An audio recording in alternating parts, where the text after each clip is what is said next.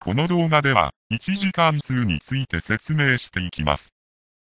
比例や連立方程式について理解していることを前提にしておりますので、自信のない方は復習してから動画を視聴されることをお勧めします。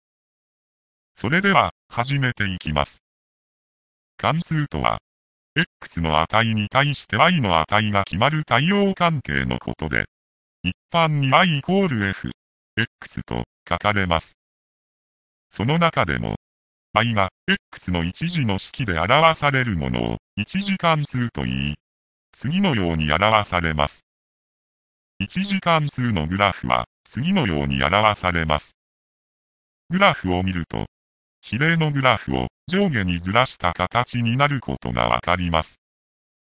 この時、y 軸と一次関数の交点、すなわち、x イコール0の時の y の値を接点と言います。実際に関数に x イコール0を代入すると、b の値と一致することがわかります。次に一次関数のグラフの交点について説明します。次のグラフを見てください。二つのグラフの交点は、二つの関数の条件を両方とも満たす点ということができます。したがって、二つの式を連立させてその式を解き、x と y の値を求めることで交点を知ることができます。y イコール 2x と y イコールマイナス x プラス3の交点について考えてみましょう。まずこれらの式を連立させます。次にこれらを解きます。代入法の方がおすすめです。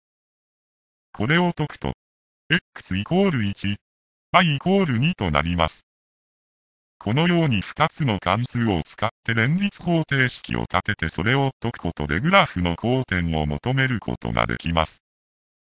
交点に関する考え方は、一次関数に限らず、関数一般について成り立ちますので、しっかり覚えるようにしましょう。一方、グラフの交点はいつも存在するとは限りません。Y イコール 2x と y イコール 2x プラス6の交点について考えてみましょう。まずこれらの式を連立させます。次にこれらを解くと、0イコール6という式が現れます。この式では、どんな x、y の値を代入しても、等式が成り立ちません。つまり、条件を満たす x、y は存在しないすなわち、グラフの交点が存在しないことがわかります。ある二つの点を考えます。そこを、一次関数 y イコール ax プラス b が通るとすると、y イコール ax プラス b に2点の値を代入することで一次関数の式が得られます。実際にやってみましょう。ある一次関数が2点、1カンマ3、6カンマ7を通るとします。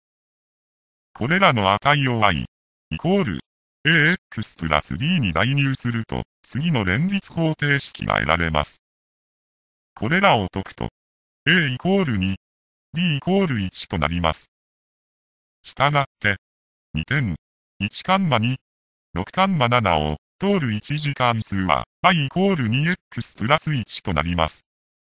一次関数は2点の座標だけでなく、傾きと1点の座標が分かっている場合にも決定することができます。ある一次関数が傾き3で、2カンマ4を通るとします。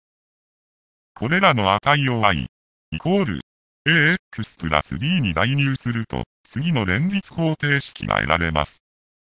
これらを解くと、y イコール 3x マイナス2となります。これらをまとめると、2点または、傾きと1点の座標が分かっているとき、一次関数は、ただ一つに決定すると言えます。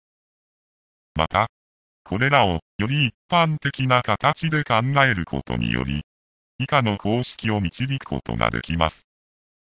傾き m で1点、x1 カンマ y1 を通る直線と、2点、x1 カンマ y1 x2 カンマ y2 を通る直線は、次のように表されます。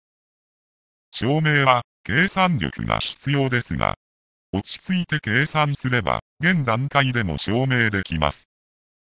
高校では、この公式を活用して、点と直線に関する様々な性質について学んでいきます。